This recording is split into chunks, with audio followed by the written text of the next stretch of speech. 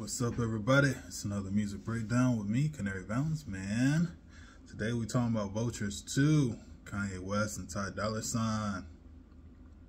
Alright, you know, I know I'm a couple days late with it. This came out like around when the Super Bowl, like I think the night after the Super Bowl.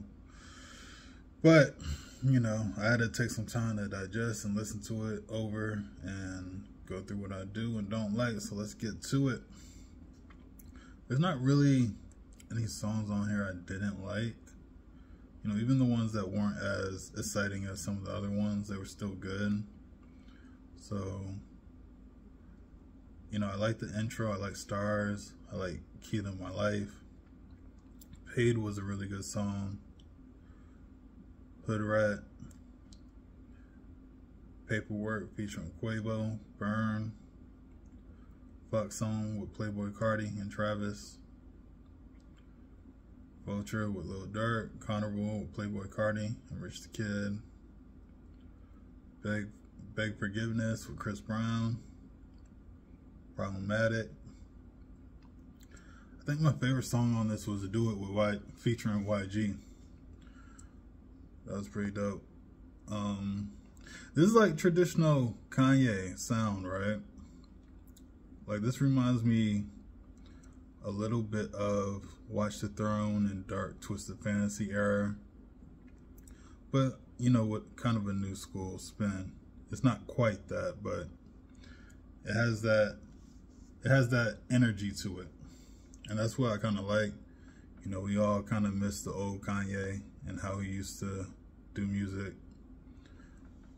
And I feel like he definitely delivered on this. This was, you know, surprising I wasn't even expecting an album out of him. He didn't do no surprises like with Donda 2 where you gotta go like pay $200 on a music box or something like that.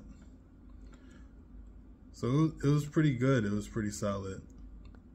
I enjoyed listening to it. You know, I listened to it twice through. And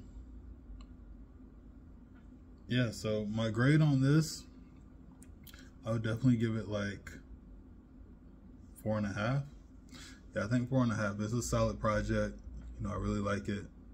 It's very close to perfect, but there's just a few things on it that, a few songs on it that just didn't quite make it. Like there was a few throwaways, and that was like the only problem really. But I was definitely happy to hear some new Kanye.